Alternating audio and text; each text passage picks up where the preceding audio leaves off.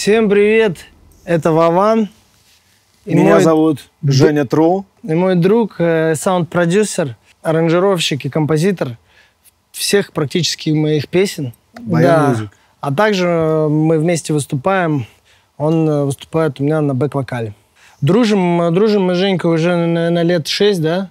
6-5. Угу. Женя родом из Кирова, я сам родом из Перми. Познакомились мы в Кирове. Познакомились в Кирове, решили записать там одну песню.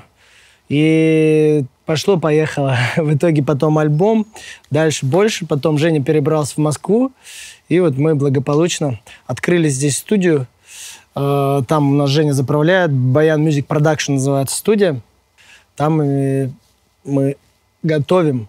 Готовим музло? Готовим музло. А, сейчас хотелось бы сакцентировать на моменте мы год назад сочинили песню, называется «Песня Шагай». Стратегически мы ее как-то все время откладывали после всех веселых, и так долго откладывали, что целый год ждали выхода. Плюс еще мы сняли на нее клип. Клип сняли в Исландии. Очень красивенная страна. В клипе сыграли я и моя жена. Главные роли сыграли. Мы сыграли такую любовную историю проезжего музыканта, площадного и художницы исландской. Как, как мы в конце случайно встречались? Как, мы случайно повстречались на черном пляже. Там такие пляжи с черным песком, очень mm. красиво. Такое я видел только там и на Камчатке. Это вулканическая пыль, которая превращается в такой песок абсолютно черный. Wow. Вот, очень красиво. Так что смотрите обязательно этот клип, слушайте песню. Песня очень лирическая, очень красивая, называется «Шагай». Хочется сказать, что режиссером и Вдохновителем на этот клип выступил мой друг Денис Курочкин, его компания Inside Production.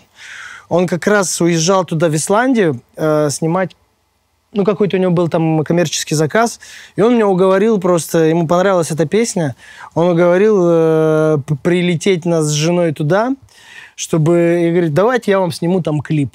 Я говорю, давай, сколько нам надо на это времени? Он говорит, ну, чтобы посмотреть Исландию, чтобы снять клип так на лайте, ну, дней, дней четырех, в принципе, хватит. Да, и мы прилетели на четыре дня, получилось все не на лайте, потому что это мы одновременно восхищались э, просто этой колоссальной природой, как будто другой планеты Исландии.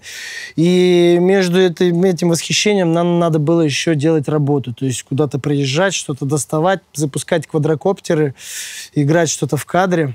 Как только мы туда прилетели, мы поселились в лесу, э, в таких домиках туристических, и нас встретило северное сияние. Это хм. была мечта моей жены. Она говорила, если я увижу северное сияние, я расплачусь.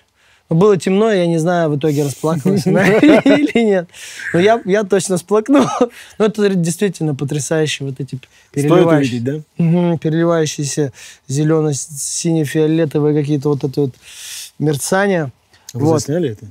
Мы это засняли, но это у нас есть просто отдельные фотографии, материалы. В клип это не вошло, потому что это ну, не входило в рамки сюжета вообще. Ну и там нужна определенная оптика, определенная выдержка, чтобы в темноте снимать. Вот. Но вообще просто это сразу же встретила нас страна такой, таким mm-hmm. чудесным явлением. Для сентября это не слишком характерно, но вот нас Исландия побаловала этими видами. Вот. Потрясающие водопады гигантские, которые улетают в пропасти, просто не видно, где они там падают, эти водопады. Мы только с квадрокоптера могли наблюдать дно, улетали туда в ущелье. Водопадами падали. Да, и я над этими водопадами играл на гитаре, пел. Так было замечательно, так здорово. Хм. Вообще, самое лучшее видео на память, которое мы могли для себя оставить с женой, это, пожалуй, вот это видео в Исландии. Да, и спасибо Денису Курочкину еще раз за то, что он эту авантюру провернул и уговорил меня поехать этот клип снимать в Исландии. Про Исландию сказать. Мы снимали клип, и у нас с Денисом Курочкиным был замысел, что в конце, вот у нас ну, там в конце собирает, она там, она художница, я музыкант, и я ей помогаю собирать двери на побережье. Она хочет, хочет нарисовать дверной проем, написать, так скажем, и в этом проеме, чтобы море здесь было. Я вижу, что она что-то там возится с, этими, с этим косяком, я подхожу как мужчина, начинаю ей там помогать, мы ставим это дерево, и в конце мы... Ой, дерево, двери. И мы должны были в конце еще это, эти двери поджечь. В конце еще должен был такой кадр быть, что горящие типа двери, тут, короче, и вода, и огонь, все вместе. И такая погода, представляете, случается. Я такой в жизни не видел. Не дождь, а как будто такое, как будто морось, которая вот так вот повисла в воздухе вот постоянно. Это не туман, это прямо морось. Ты весь как бы становишься таким сразу моментально таким сыр, сырым, что ли. Но это не дождь как таковой. У нас такое нету погоды, вообще такого не бывает. Ну, и вот, влажный воздух. И мы не смогли поджечь эту дверь. У нас было 3 литра бензина с собой розжига сначала, потом бензина, мы не смогли ее поджечь в этих, в этих условиях. Mm. Как мы не старались, она у нас горела и тухла, горела и тухла. Плюс еще обработана была европейским материалом, они у них, видимо, такие хорошего качества огнеупорного, что мы не смогли ее поджечь. Вот что значит природные условия. А потом оказалось, что если бы мы подожгли, и кто-то бы из местных властей заметил это, нас бы посадили в тюрьму. Короче, у них не категорически не запрещается устраивать костры в Исландии. То есть железно бы закрыли бы, потом бы разбирались, конечно, но нам бы пришлось бы посидеть в тюрьме. Поэтому, ну, либо штраф большой. Да, поэтому, а? Либо штраф большой, да? Ну, это уже после тюрьмы. Но в тюрьму бы точно ну, еще закрыли. штраф. Это правда, ну, правда, это правда, штраф. да.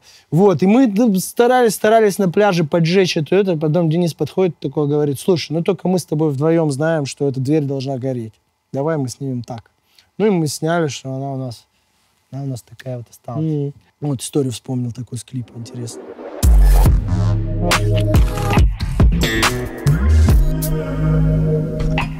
Лично по мне я слушаю много что, потому что у меня профессия такая. Ну, то есть я стараюсь не отставать от, от трендов, все время слушать новое, и мне очень нравится. Допустим, многие жалуются, что типа вот новая музыка какая-то стала достаточно такая типа тупая и так далее. Я так не думаю. Потому что песни с матом были всегда. То есть мы в детстве слушали «Сектор газов» тайком от родителей. Потом была группа «Ленинград», которую слушали все. А сейчас просто матершина, она в такой новой форме. Ну, матерш... матер... мат это не значит ведь тупость.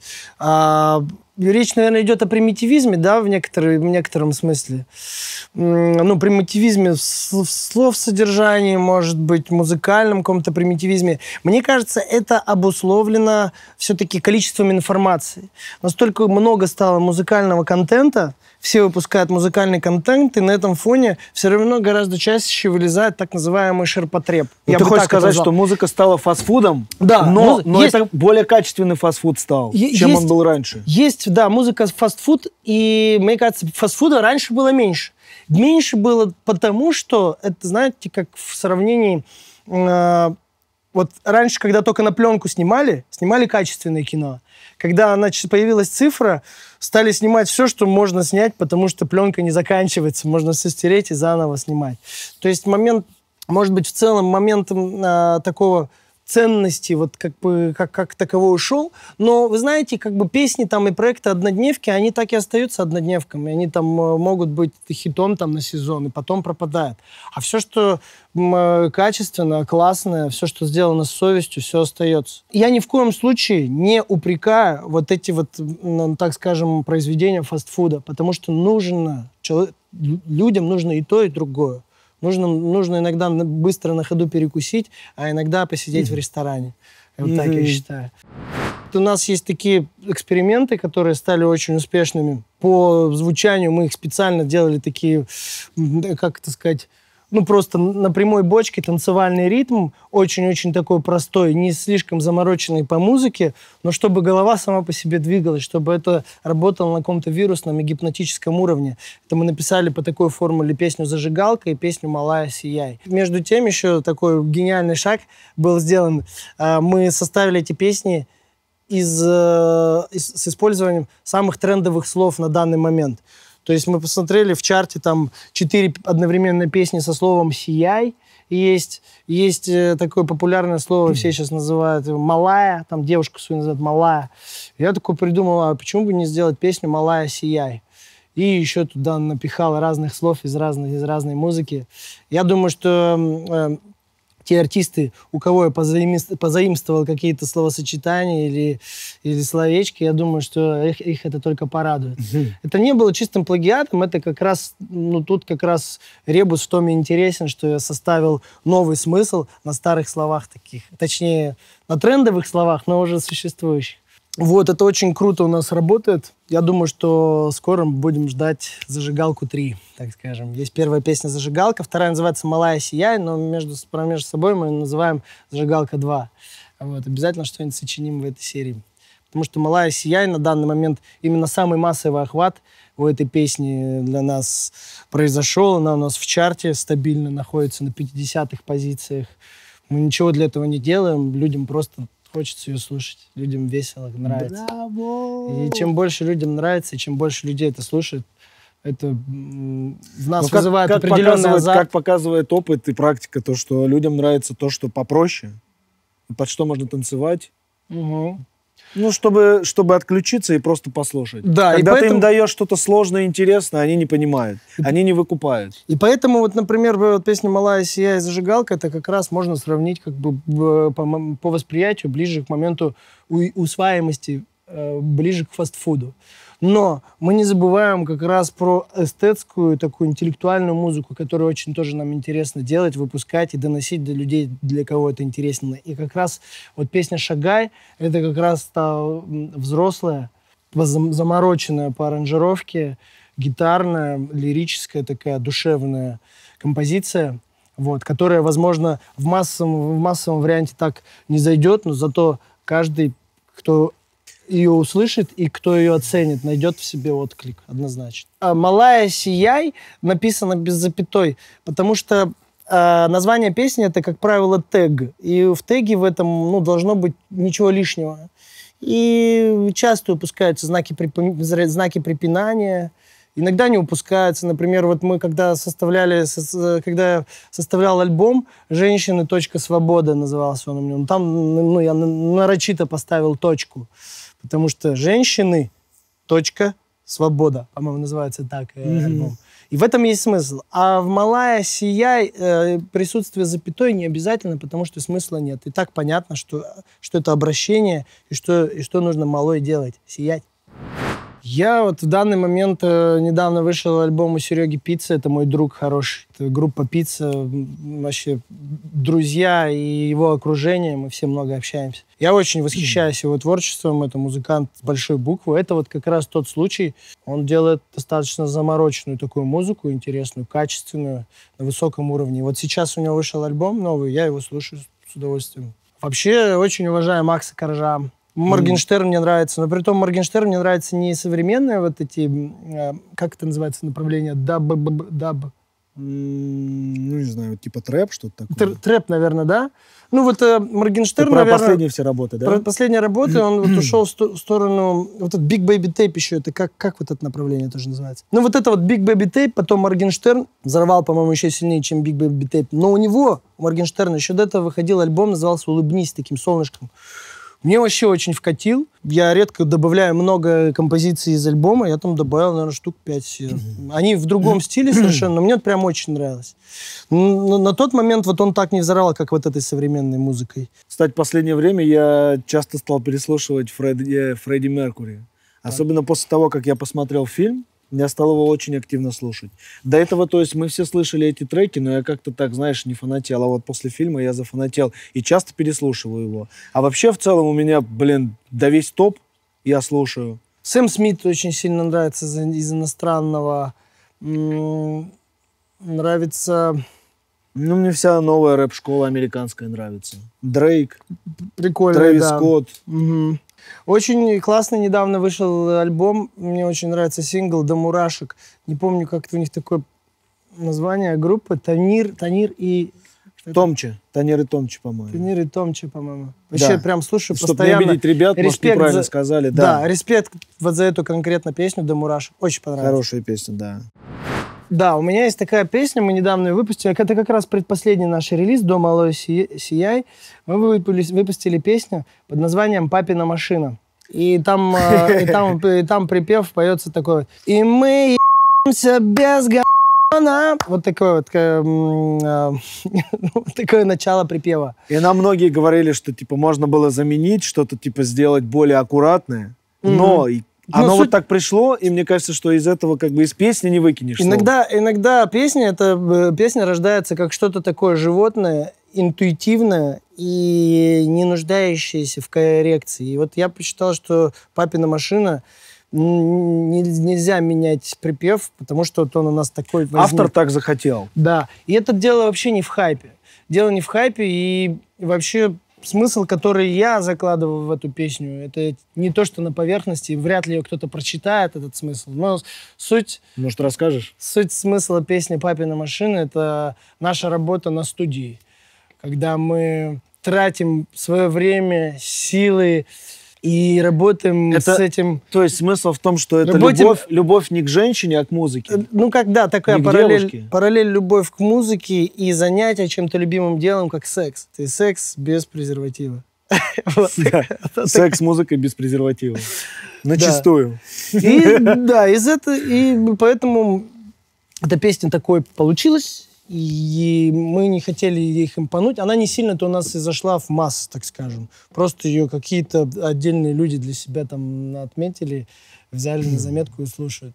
И если ты с матом выпускаешь песню, это не значит, что ты на этом хайпанешь. Но особенно, наверное, это касается меня потому что у меня много детской аудитории, много аудитории там мамочки с детьми, там папочки, которые, ну, не, наверное, не сильно поняли э, этот мой релиз, но мне все равно, потому что здесь я все-таки выступал как творец. Ну, это настолько уже сейчас тоже такой фастфуд огромный, что сейчас, мне кажется, что с матом, что без мата настолько уже привычно, что не удивить.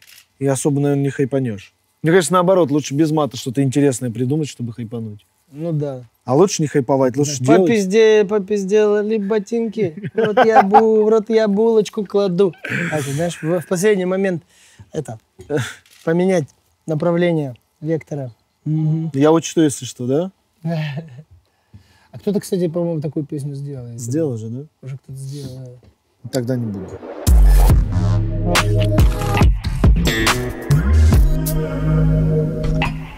Владимир актер или музыкант Вован. Я себя скорее называю артистом. Ну, то есть это все-таки всеобъемлющий более термин. Я вообще очень сильно побаиваюсь актерской специальности, особенно театральной. Мне довелось однажды работать год в театре, хотя это, ну, я был уже популярный, я это просто при, ну, прилетал в театр, играл, смотрел на жизнь актеров и вообще как они чем занимаются. Я бы так не смог. Ну, то есть приходить как на работу в 9 часов утра, зачем-то в театр, если ты даже, у тебя сегодня репетиции нет, для меня это вообще странно. То же самое со спектаклем. Но у них там своя дисциплина, у них там свои премии, авансы и все остальное. И вот этот театральные подмостки, сцена без окон и без этого, меня немножко это давит. И в студийной работе я тоже это сильно не, не очень сильно люблю, что нет окон. Короче, есть такая мечта, чтобы у нас была студия где-нибудь в горах, с большим в горах наверху, окном. с панорамными большими окнами, чтобы мы смотрели просто на такую тропическую морось. Например, если дождик на улице, да, ну как раз, э, чтобы не загорать, можно дома насидеть, заниматься музыкой. Ну, не хватает пространства уличного. Пространства уличного не хватает. И то же самое вот в театральной работе, и сидеть, что-то просиживать, короче, эти пыльные костюмы и все остальное, нет. Это, ну, пожалуй, не твое, Это, пожалуй, не мое, да. Но вообще, вот, ну, как актерская специальность, я знаю, что у меня есть такой талант, просто я его тоже стараюсь развивать параллельно. В последнее время за это взялся. Хотя э, по большей части сейчас работаю и позиционирую себя как музыкант. Но обязательно, обязательно, совсем скоро где-нибудь буду появляться на экранах в кино. Музыкой увлекся в институте уже курсе на третьем-четвертом что-то начал пописывать рэпчик. Я очень часто от этого отходил, как бы там появились... Это всегда было для меня хобби, музыкальная сфера. И вот буквально, наверное, только года два-три назад я понял, так, все, ну, надо выбрать для себя приоритет. Надо уже двигаться, ты либо там э, двигайся в актерскую тогда среду, или музыкальную. И я двинулся в музыкальную, потому что здесь я, во-первых, представлен сам себе, то есть здесь нет надо мной продюсеров, режиссеров, каких-то оценочных суждений, так я или не так делаю. Я выпустил, я бы либо там с этой песни там попал, либо не попал. Это уже абсолютно моя ответственность.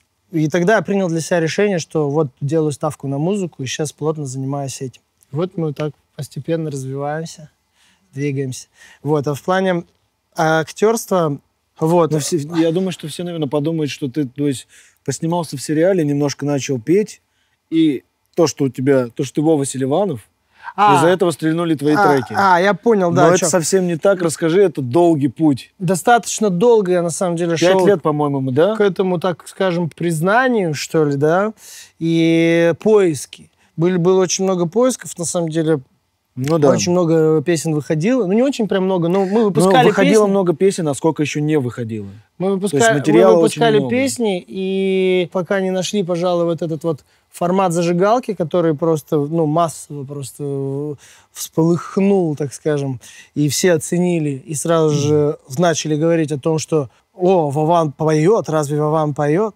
До этого прошел я достаточно долгий путь, то есть достаточно долго, лет 10 занимаюсь музыкой, там, как хобби или не как хобби, неважно. За это время я научился там играть на гитаре немного, на барабанах. И, конечно, этот путь развития, он продолжается, он бесконечен. Но, тем не менее, это не момент э, хайпа, что типа, Вован, я и так популярный из сериала, и сейчас дай-ка я попишу еще песенки, и это мне сработает на руку. Вообще параллельные две истории. Совсем никак на меня не сказывалось. Ну, моя популярность на телепространстве никак не состыковывалась с, с- с музыкальным творчеством. То есть для этого пришлось доказать, что я музыкант. И тогда люди просто сказали, что а, он еще и музыкант. Не было такого, что типа э, люди, «Дай- дайте его будем слушать, потому что он актер с сериала. Люди слушают музыку, потому что она им нравится. Поэтому надо в первую очередь тут быть честным перед собой, перед людьми. Вот сейчас все чаще начинают там петь, подпевать зажигалку или «Малая сияй», или там подходить и говорить, вот смотри, когда мне жена звонит, смотри, что, вот, я- ты там, «Лю- Люба, позвони, Лю- Люба ему звонит, и не очень начинает играть э, «Вредная привычка», моя песня, э, вот сколько это же, лет, наверное, пять этой песенки, очень крутая Ну, песня, поменьше, такая лирическая. Да, тоже с Женей мы сделали. Вот, вредная привычка у нее играет. ну, Он говорит, вот видишь, на, на, на звонке от жены стоит твоя песня. Очень приятно такие моменты, да. И все больше, больше, больше людей все-таки вот именно подходят, респектуют уже не за сериал, а за музыкальное творчество. Мы сняли полный метр реальных пацанов. Реальные пацаны против зомби. Скоро он выйдет в кино, скорее всего, в ноябре этого года. Вышел вот не так давно, э, весной показывали новый сезон «Реальных пацанов». И еще к следующему сезону «Реальных пацанов» мы пока не приступали.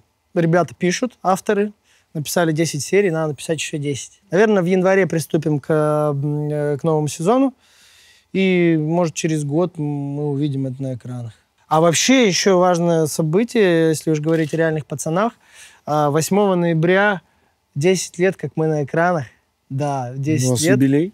У нас юбилей. Вот, да, и мы продолжаем снимать, снимаем и нравимся людям. То есть сериалу люди, 10 лет. люди подходят и говорят, пожалуйста, только не останавливайтесь. Мы хотим видеть, что дальше происходит с Коляном. А вот сколько Вованом, за, Антох. за 10 лет сезонов уже было? Ой, я не знаю. в год по сезону, наверное. Я не знаю. Ну, в общем, мы сняли в целом 230-250 серий, что-то такое за 10 лет. Но это не так много, на самом деле, для 10-летнего сериала. 230 серий, по-моему, да. Круто, что мы на экранах, и круто, что все еще у нас нуждается, что мы существуем, есть и будем. Э, В «Реальные пацаны» я никакого кастинга не проходил. На самом деле мы встр- встретились с единомышленниками. Антон Зайцев э, такой гениальный автор. Э, Он к тому моменту уже пописал сериал «Счастливы вместе», «Солдаты», еще какие-то. В Москве здесь поработал. И он тогда придумал этот свой сериал «Реальные пацаны». Другой Антон из Перми, Антон Щукин, автор э, сериала «Физрук», «Сладкая жизнь», э, «Ольга». Он Антону Зайцеву посоветовал на эти роли взять вот меня и Антоху. Мы с Антохой одногруппники, ну, все время двигались вместе, выступали в Пермском Comedy Club в свое время. И Антон Щукин, кто посоветовал нас, он как раз был нашим начальником главным в Comedy Club.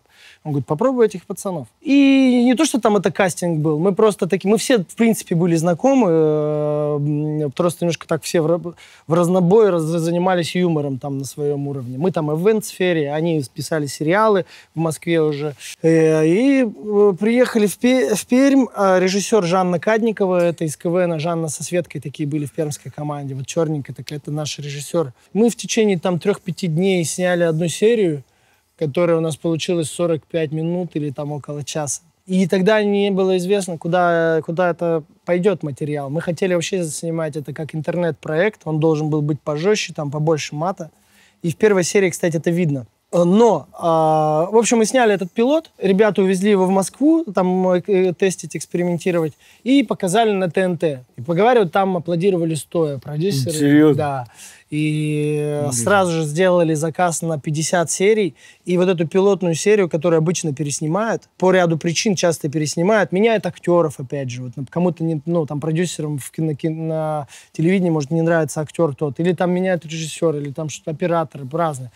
Здесь же вышло так, что все звезды так сошлись, что эта пилотная серия, она стала первой серией сериала. Ее просто с 40 минут сократили до 20, ну, под формат уже телевидения. И дальше еще нам надо было снять 49 серий заказа первого. Мы сняли эти 49 серий, все вот с, первый, с первым полтинником, он, там его, по-моему, на два сезона поделили, там 36 и 18, ой, сколько там, 16 серий, 32 и 18, что-то такое. И все, никакого кастинга фактически, просто мы попробовали, попробовали по фану снять пилот, который стал сразу же продуктом, и герои этого продукта сразу же закрепились раз и навсегда в сериале.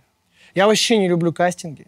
Я сейчас как раз работаю над этим, чтобы вот именно психи- психологически вот этот момент все побеждать.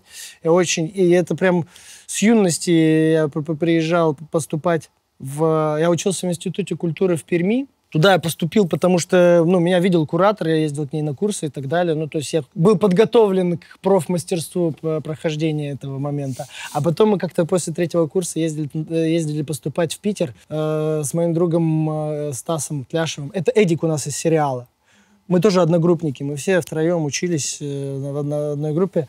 И мы поехали с ним э, поступать в театральную академию на разные-разные там курсы. Я вот помню тогда, вроде репетирую нормально, там стих, басню, прозу, выхожу перед, э, выхожу перед вот жюри, вот как вот вы сидите здесь передо И все сразу же, у меня сразу же мысли на то, как на меня, как я выгляжу, что они на меня так смотрят и так далее. И очень сильно отвлекаешься от, зер... от зерна роли, да, которую ты должен вроде как нести. И, в общем, кастинги не, не очень люблю. Очень мало их в жизни посещал, даже будучи уже знаменитым. Я за жизнь можно насчитать, не знаю, раз ходил 10 всего на кастинги. Это очень мало для актеров.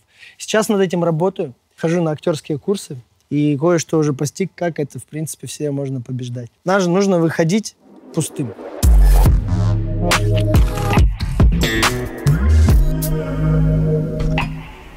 Ну, Навер... лишь по мне Инстаграм. Да, я, наверное, больше всего тоже про, про, провожу Я практически время. везде есть, но это, наверное, Инстаграм, да. Основное время. Я тоже больше всего провожу в Инстаграме. Меня совсем не бывает на Фейсбуке. Я там зарегистрирован просто потому что он связан с Инстаграмом. Вконтакте хорошая платформа для продвижения музыки. Там надо в первую очередь делать акцент не на личную мою страницу, а на группу. Группа ВКонтакте музыкальная. И ТикТок. Очень крутой инструмент, который сейчас появился, ТикТок. И та музыка, которая у меня именно залетает в ТикТок, которая по формату очень к ТикТоку подходящая, она одновременно популяризирует эту музыку и обеспечивает рост подписчиков. Например, с песней «Малая сияй» ко мне пришло э, полмиллиона человек как подписчики. В ТикТоке? В ТикТоке. У меня там на, на, на один из роликов «Малая сияй» порядка 13 миллионов просмотров. И каждый там ролик, потом даже те, кто делали репост на этот звук, не репост, а как это, на этот звук «Малая сияй» снимали у себя, я потом так анализировал, смотрю, там у людей, подписчиков нет и по 50 просмотров на клипах, а именно вот на песню «Малая сияй» полтора миллиона. Там, там как-то агрегатор так срабатывает, что вот эта вот музыка, которая для ТикТока как бы соблаговолит, они начинают как-то, агрегатор сами начинают поднимать, двигать. Ну и, ну, соответственно, мне это, конечно, идет на пользу. Поэтому «Малая сияй» благодаря еще и ТикТоку очень тоже хорошую популярность э, получила. Я использую ТикТок как инструмент для продвижения музыки, честно скажу. Я какое-то время снимал там вайны, какие-то юмор, но это такое сейчас э, засилие этих вот, всех... Мне кажется, для любого исполнителя как раз ТикТок, Инстаграм — это неотъемлемая часть для продвижения музыки. Да. Чтобы донести до аудитории. Ну, Инстаграм — это по большей части все-таки как визитная карточка в наше время работает, как витрина, типа показать человека, что он из себя представляет и чем занимается. А вот ТикТок — это инструмент, очень крутой инструмент для продвижения музла. Это я так вот использую этот инструмент. Мне ну, чаще пишут по работе. Ну вот нет, там нет особенно вот вспышки с новыми крутыми песнями, э, вспышки вот признания. Потом, конечно же, популярный вопрос Мы любим А, тебя. Популярный вопрос, когда новый сезон. Обожаю этот вопрос. Я не знаю даже, мне кажется, можно баннер какой-то вместо аватарки сделать сразу же, когда новый сезон, или не знаю, написать. Очень много вот этого. Причем это такого. происходит даже в группе ВКонтакте. Там музыкальная группа, и там очень много вопросов, когда новый сезон. Ну, в Инстаграме у меня 800 тысяч подписчиков, в ТикТоке почти 2 миллиона, миллион девятьсот. Так хочется уже поскорее, чтобы этот планку до- до- добить до 2 миллионов.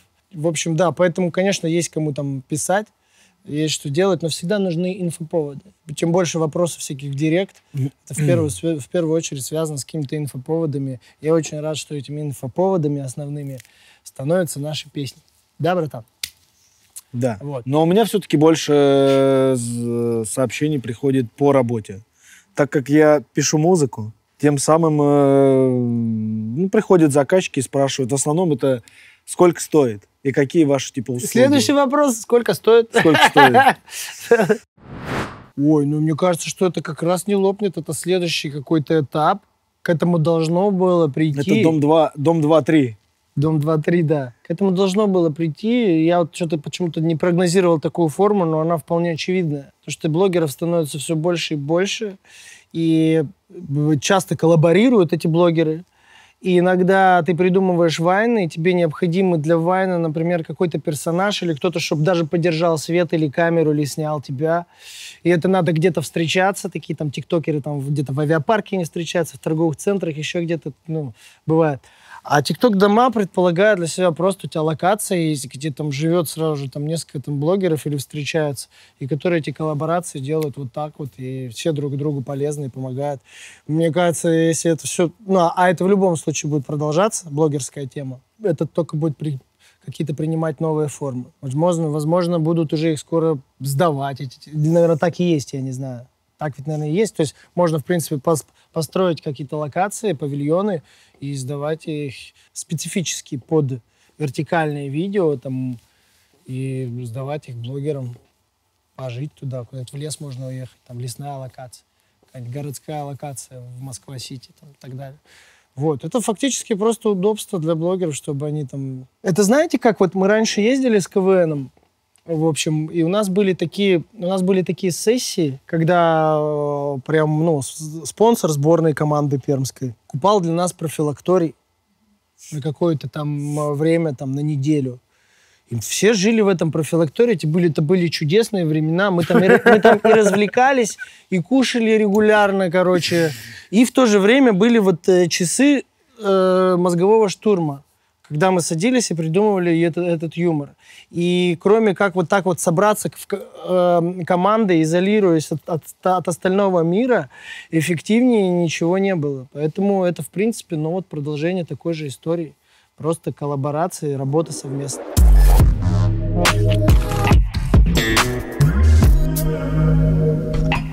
Образование необходимо.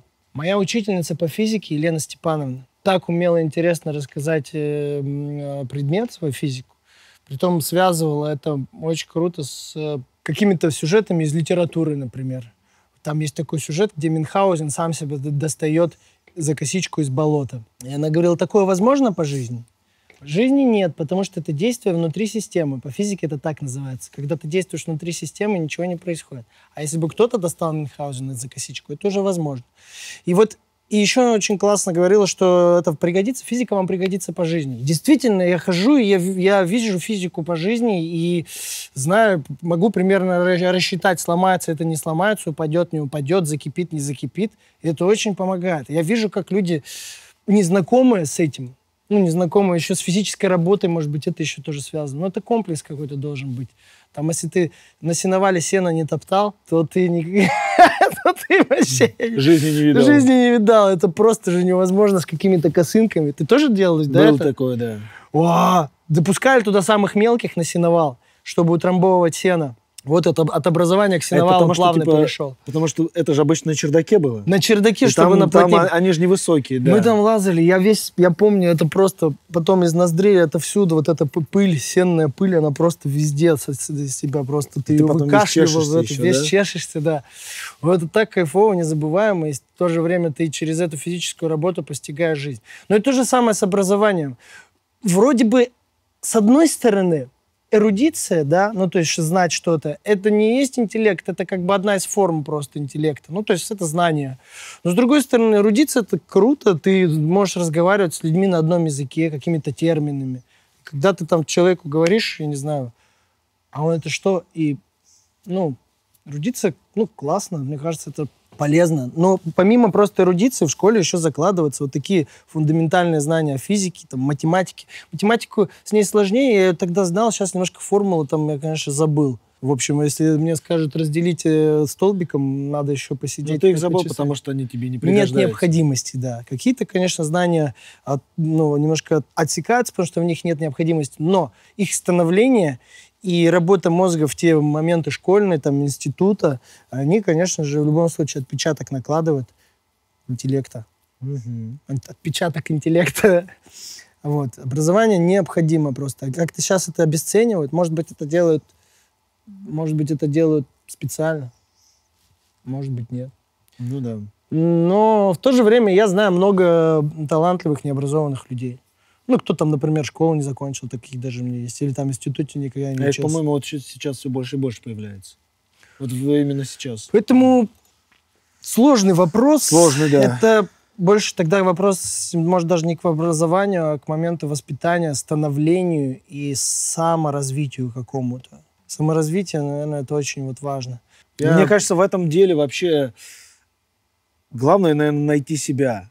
Вот когда у тебя есть цель, ты находишь себя, идешь к этой цели, что-то делаешь. Да, И да, мне кажется, есть ты как раз и развиваешься, и пусть ты даже многое чего, ну, многого не знаешь, но но ты э- идешь к цели, и вот мне кажется, это главное. Очень интересная, да, мысль, потому что, да, люди есть некоторые, кто со школьных лет уже знают, чем они хотят заниматься в жизни. А кто-то не И может они целенаправленно.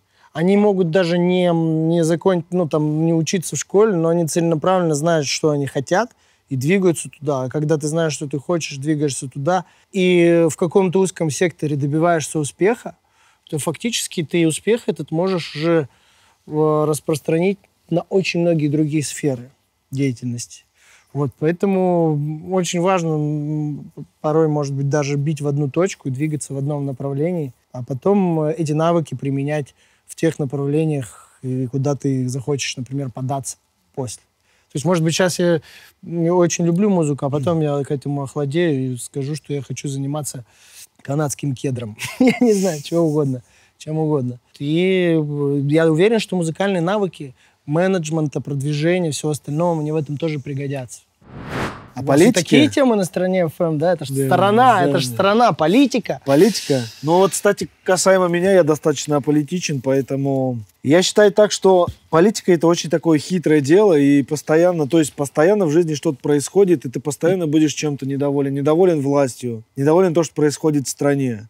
Это будет всегда. Что там 20 лет назад, что сейчас, что 20 лет в будущем, через 20 лет, ну, то есть вот я считаю так. Все время будут какие-то проблемы, все время будет что-то не нравиться. Поэтому я стараюсь не обращать сильно на это внимание и занимаюсь своим делом. А за себя скажу, значит, насчет выборов. Я ни, я ни разу в жизни не Серьезно, ходил, серьезно я ни сейчас разу в жизни не ходил на выборы. Один раз я пришел в студенчестве, и то и то, что мне было прописано в Перми в тот момент. мне, мне не разрешили голосовать.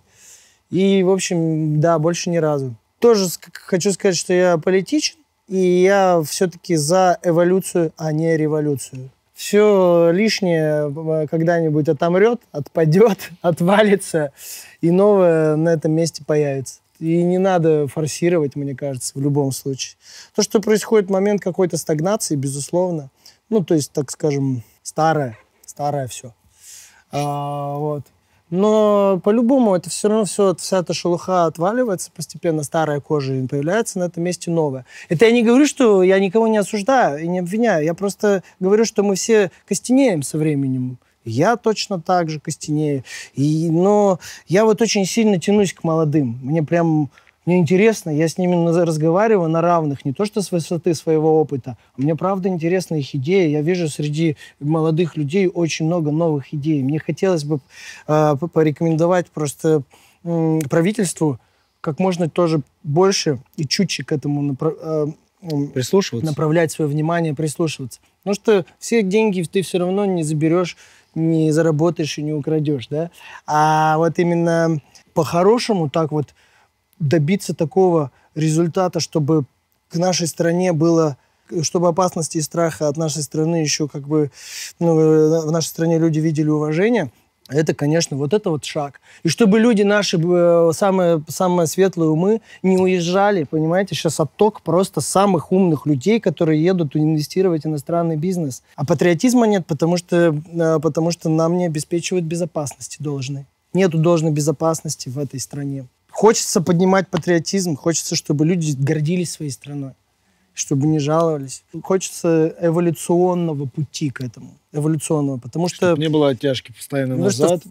Типа вот у нас были такие тяжелые времена, ну да, очень часто сравнивают с тем, что было, что есть, да, ну, да, что да, есть. Да, да, да. Есть э, чем гордиться, но есть над чем работать. Очень много, очень много аспектов.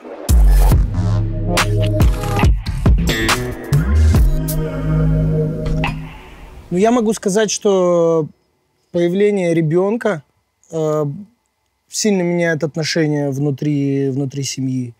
Даже еще на уровне, на стадии, когда э, жена была беременная, я уже стал замечать вот именно женский инстинкт такого сохранения вот этого всего, в том числе он направленный даже где-то в какой-то степени с претензией ко мне, чтобы я тоже был тут, ходил, ходил на страже. Ну, такой интересная, интересная такая трансформация, когда вот, э, это особенно все-таки, э, наверное, касается женщины, когда из беззаботной легкой дев, девушки, такой, знаешь, э, человек превращается в, в, в такую как это сказать, самку, mm. самку, которая оберегает э, своего дитя.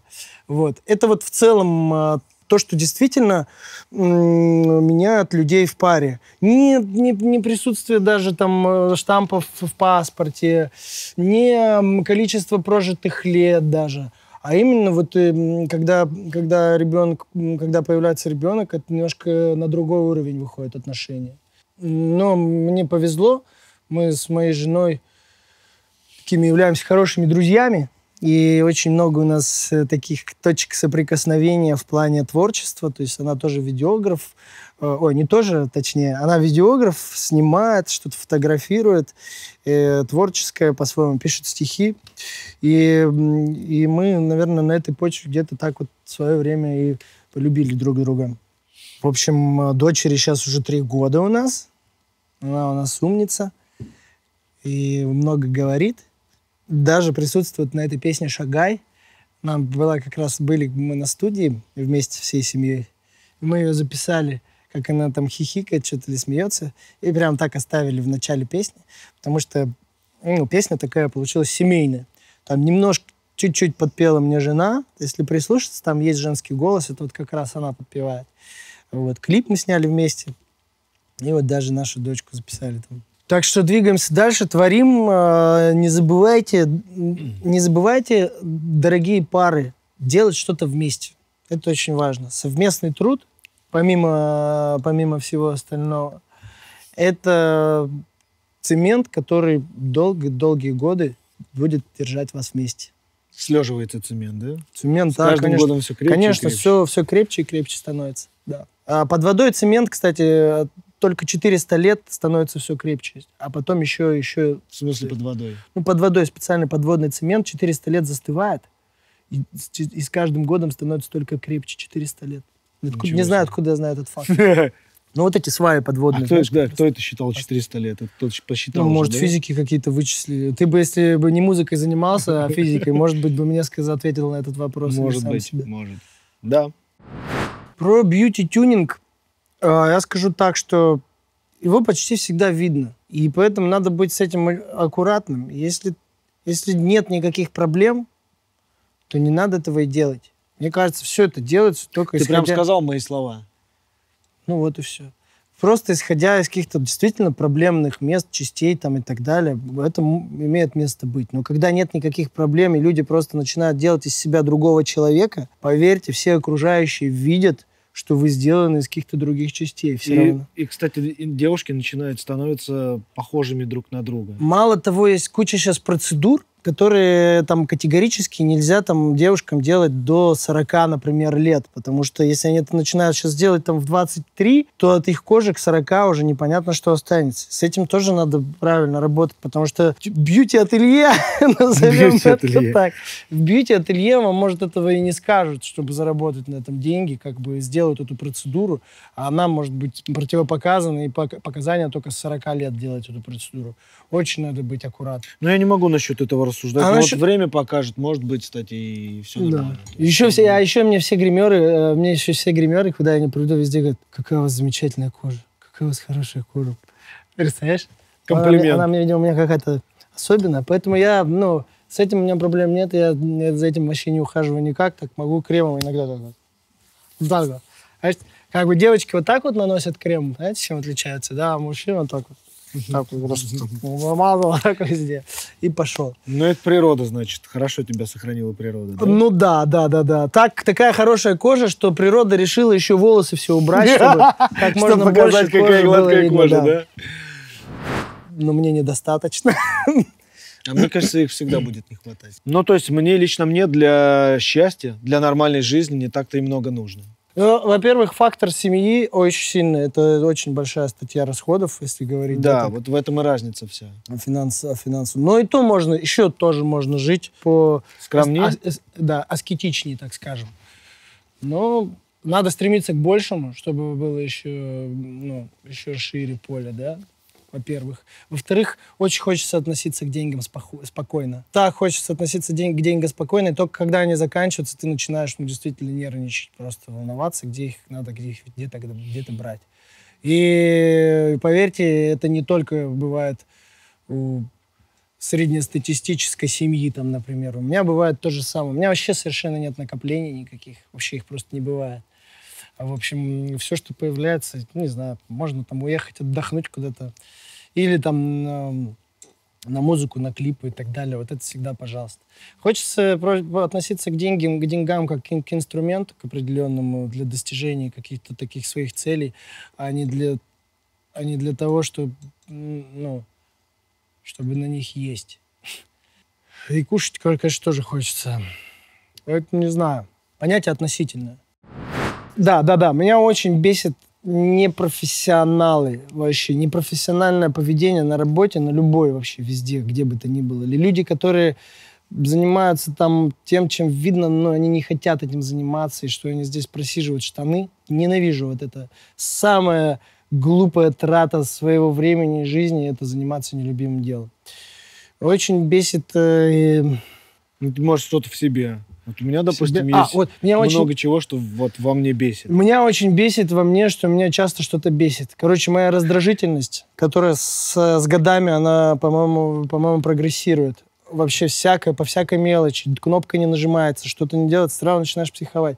В детстве так спокойно к этому относишься. Я смотрю на свою дочь, которую кубики собрала, бах их развалила и смеется и снова их собирает. Или случайно там я что-нибудь, что-нибудь она сделает, я ей как бы даю манипуляцию к тому, чтобы она снова это делала, и она это не досадует, что типа, да блин, мне опять это надо делать. Она просто спокойно идет и снова это делает. И так хочется вот опять вернуться вот это детство, когда ты не заморачиваешься и не, не бухтишь, не раздражаешься по всякой ерунде и по мелочам. Это получается, наверное, ну, вот эта крепость нервной системы, ее надо воспитывать. Сейчас, да, в данный момент, вот лично меня больше бесит что-то вот в себе Потому что я как-то вот на, на окружающих раньше мог там, ну, знаешь, вот человек тебе не нравится, ты бесишься, и из-за этого, ну, как-то начинаешь нервничать. Сейчас я стал больше спокойнее относиться к всему окружающему, а беситься больше из-за своего внутреннего. А тараканов очень много. Бесят, короче, эти критики диванные, да, наверное, так их называют или не диванные, но вот эти лю- люди, су- су- судьи, которые начинают высказывать мнение и которые непонятно, как сами живут, по каким принципам, чтобы говорить такое мне, например, в тех же соцсетях писать. Ну, они даже, даже не бесят, забавляют. Если честно, больше забавляют. Сколько раз мне писали, «Э, Вован, не пой песни, это не твое. Я захожу на страницу, человека. Она ча- чаще всего такие вот люди, которые так пишут закрытая страница, но иногда еще открыта. В общем, я не знаю, что их. Как бы. Я-то знаю, что мое. Там петь или не петь, но как бы советовать мне, с чем мне заниматься, я... а, Короче, вот, я не люблю советчиков. Вот, не люблю советчиков, я считаю, я сам не даю советы. Которые говорят, слушай, я знаю, что надо сделать. И я, как это сделать, Я сам да? не даю советы, пока меня этого, об этом советом не, не попросят. Мгм. Три пункта, что нравится. Сырники обожаю. М, В общем, люблю свою банду, в том числе вот Женя Тру. И еще у меня есть э, несколько людей, таких близких друзей, которые еще и, ну, с которыми мы работаем, создаем что-то вместе. Сегодня я вот рассказывал про режиссера Дениса Курочкина, видеограф. Аньки Моджиной привет. Моя СММщица э, э, А- Анару привет. Это мой менеджер по музыкальной части. Томми Генин. Короче, все, всю мою банду Ты друзей, вообще для, друз- меня, для меня никого не оставил. Всех перечислил. друзей, которые, ко- с которыми мы вместе делаем большое дело и которые еще являются моими близкими друзьями. Обожаю. Я очень счастлив, что у нас это совпадает. Да, я очень люблю музыку. Музыка у меня на первом плане. Прям просто обожаю, жить без нее не могу. То есть я могу отдохнуть. То есть бывает момент, когда мне просто надоедает. Я такой думаю, все, не хочу заниматься. Проходит два дня, и у меня уже ломка. То есть мне постоянно надо что-то придумывать, что-то делать. На втором месте это мамина еда. Наверное, я так скажу, да. Я, то есть, живу не с мамой, поэтому очень скучаю по маминой еде и по маме. Кого я люблю? Вовку люблю! Вовку! Так, ну вот. А я третья, кстати, тоже. У меня еще есть один, один э, этот пунктик. Ну, я очень много всего люблю, но что сейчас еще в первое, первое в голову приходит. Мне очень нравится путешествовать. Со своей женой, как раз Викой, ну, это лучше всего понял.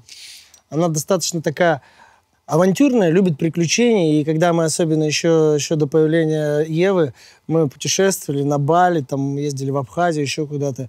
Я вижу, как она просто как бы рвет и меня куда-то тащит за собой то в горы, то куда-то. Мне так это понравилось. Я потом уже сам стал кайфовать от путешествия. И до этого как-то очень путешествия для меня воспринимались как будто что-то нереальное. Ты как бы все время ждешь, ждешь, когда отправляешься в путешествие, ожидания всегда превосходили само путешествие. Туда приезжаешь какой-то сонный, и как будто что-то все вот вокруг. Сейчас, я не знаю, либо повзрослел, либо вот действительно меня Вика этому научила. Я куда приезжаю, я сразу же впиваюсь своим вниманием во все окружающее и стара- стараюсь осознанно ловить вообще каждый, ну, какая здесь погода, какие здесь трава, деревья, как они отличаются. Я очень много в России повидал разные. И вроде Россия одна, а вот она везде разная. Башкирия одно, Урал другое, там Сибирь третье. Хотя везде растет береза, понимаешь? Даже на Камчатке растет береза, только вот такая. вот. И все это, вот эти все в нюансах, когда постигаешь, вообще очень сильно нравится путешествовать. Обожаю. И это очень круто вдохновляет. Вдохновляет, но не сосредотачивает. Это больше я там пишу очень много заметок, но так, чтобы вот там, там привести в порядок и целую песню написать, на это там не, не хватает в путешествии времени. Но зато вот ты просто это все поглощаешь, поглощаешь каждый, каждую этот, каждый сделанный шаг на новом месте. Ну Что это? Я вообще не ожидал, что у вас Ну, тут такое... О, я, Такие- да, я вижу. Такой седоватый дядька, который, в принципе, как и сейчас, сидит за своим любимым ноутбуком и что-то там пишет и сочиняет. А, я через 10 лет... Есть альбомы музыкальные, я уже признанный музыкант, выпускаю уже песни для души и ушел в сферу режиссуры. Продюсирую фильмы и снимаю кино как режиссер и как актер, возможно, там. Ну и вообще кайфую от жизни. Может быть, даже иногда зимой где-нибудь на Бали. Но вообще Россию очень люблю. О, у нас есть, э, у нас есть э, планы, которыми мы с вами сегодня делиться не будем пока, потому что это вот когда исполнится, тогда вы снова нас пригласите к себе, и мы тогда исполним. Пока не перепрыгнул, не говори. Ну да, да, да, да. Есть такой Гоп. закон, лучше иногда. Ну, в дальнейшем планы просто выпускать музыку. Делать музыку, делать релизы и снимать Да, у нас, клипы. и- у нас есть вот вчера мы буквально с Женей работали на студии, мы подготовили две замечательные песни, просто потрясающие. И самое главное, они обе подвижные, танцевальные, веселые такие. Вот. Так что их будем готовить. Самое главное в жизни это быть на своем месте, заниматься любимым делом и не растрачивать свое время понапрасну. Ну, в общем, не лгать себе в первую очередь. Это я вот опять же повторяю то, что и первый мой, первый мой пункт, чего я не, не люблю. Я не люблю, когда люди занимаются не тем, чем они хотят реально заниматься. Это же видно по глазам сразу же. Когда человек занимается тем, чем не хочет, он несчастен. Действительно, да. Самое главное в жизни – это найти себя, найти свое счастье, чтобы быть счастливым. Ну, это, наверное, и с любовью тоже связано. Счастье, любовь, любимое дело. Мне кажется, вот это главное.